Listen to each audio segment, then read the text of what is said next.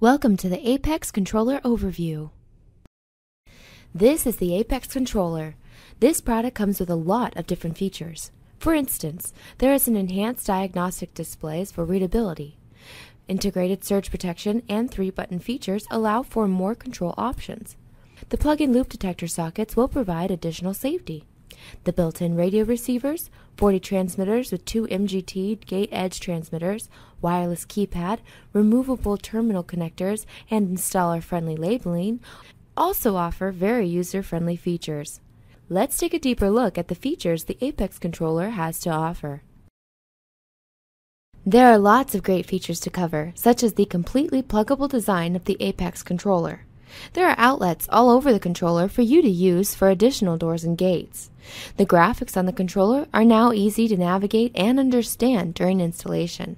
There are now plug-in loop detectors to provide additional safety.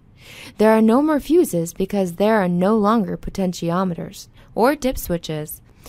There is now an enhanced LED diagnostic light display that allows you to read the screen quickly and easily. There is also a single board design for the single phase AC. The Apex also offers a hybrid machine capability that allows the machine to actually go into a hibernation mode until the next transmission is received. There is also built-in surge protection in case of sudden current fluctuations. The built-in Megacode radio receiver has the capability for two assignable MGTs, 40 transmitters, and individual transmitter delete functions. There is also an absolute current function, which is a sense adjustment with real-time monitoring. There are also network units instead of primary secondary functions, which provides additional flexibility for controlling multiple gates. The controller additionally offers a dual gate stagger programmability standard along with a built-in charge regulator circuitry for the DC and solar, since the DC charger board is no longer available. The software now controls the alarm for added versatility and diagnostics. The pulse width modulation DC motor board is now available and it is now compatible with the current three phase and DC motor boards. In addition to that, there are also new manuals available for you to learn about the Apex controller. There are multiple transmitters and fobs that will talk to the Apex controller that offer an integrated megacode radio transmission. There are even MGT gate edge transmitters and wireless keypads available for your convenience. The Apex controller not only offers the enhanced diagnostics display, but it also incorporates a three button system for open, close, and stop. The program interface itself does not have potentiometers. You will not have to change fuses, and there are no dip switches to set. Everything is in an over the current setting.